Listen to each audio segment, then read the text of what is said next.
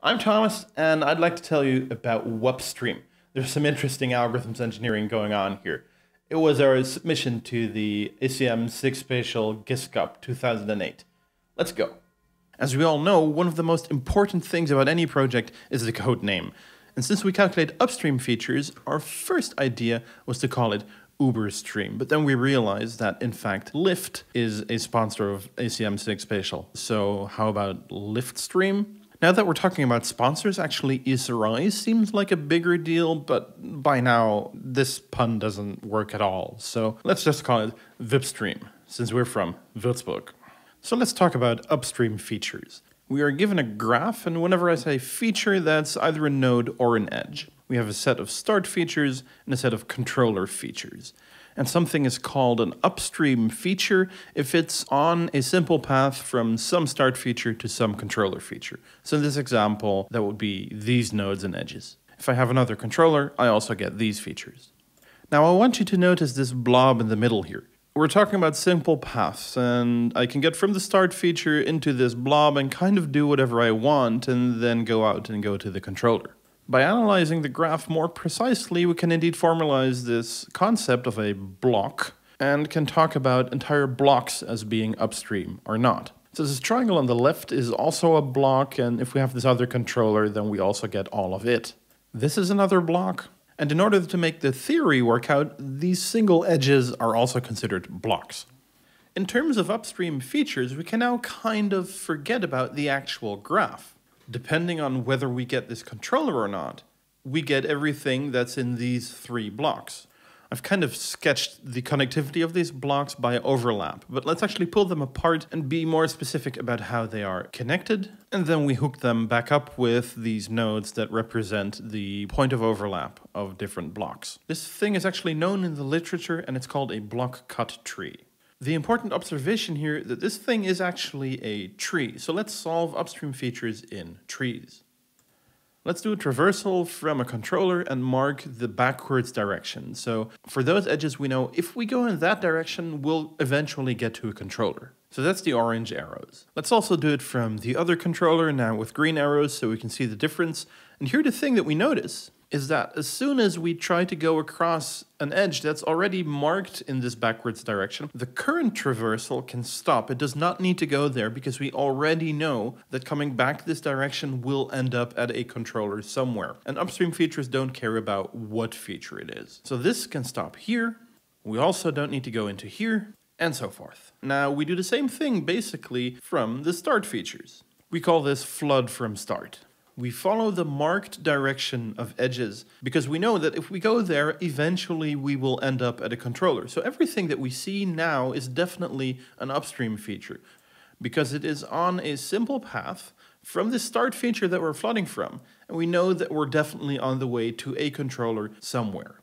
So that goes up to the left here, but it doesn't go down to the bottom right because that edge is not marked to go in there.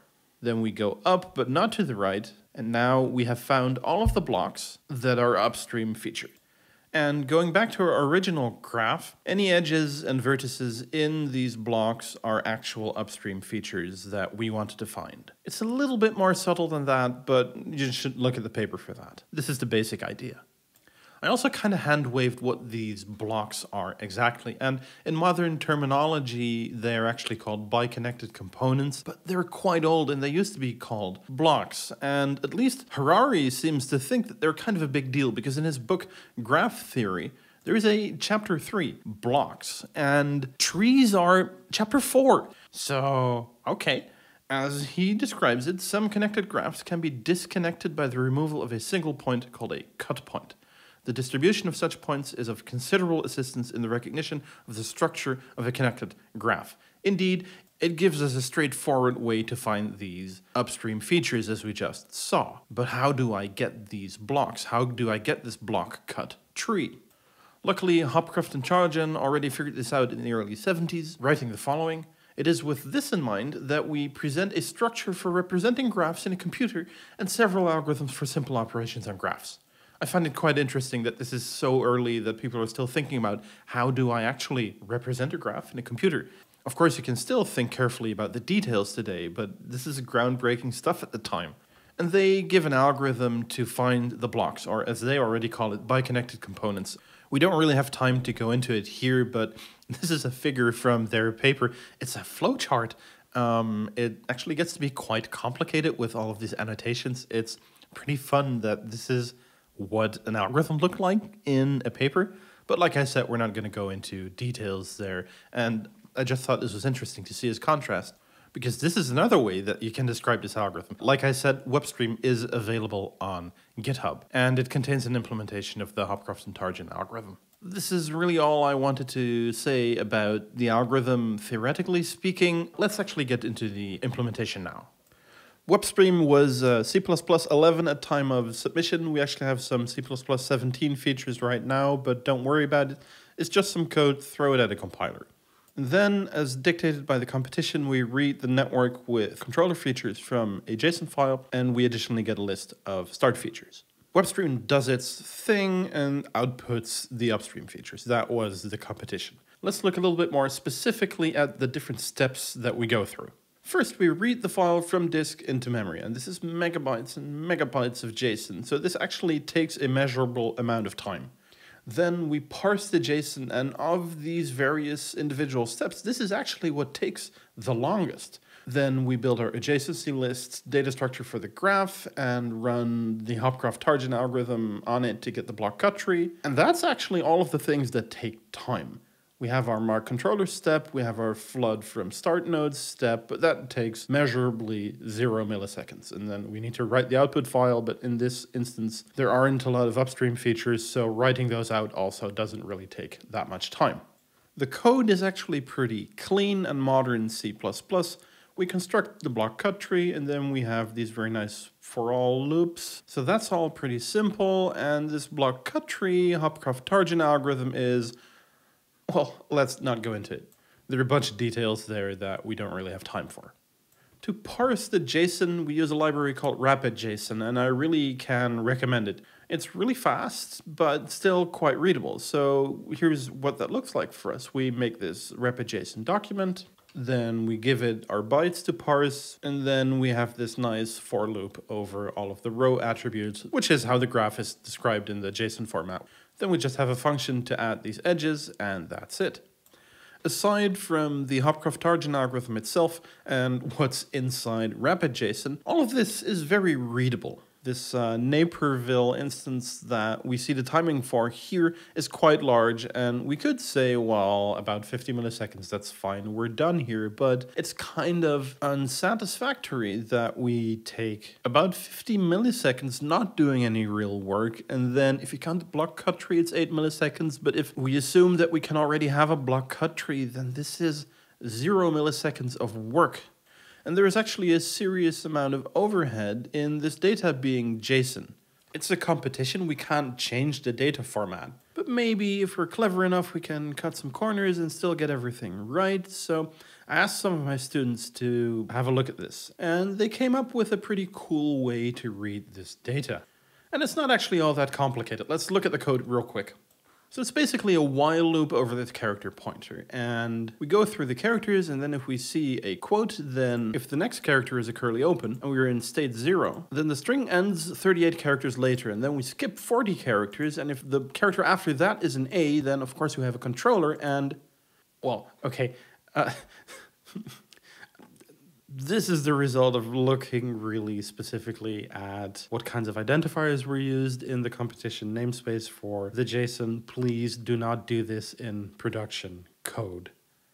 But in this way, we managed to get 31 milliseconds plus 15 milliseconds down into 18 milliseconds.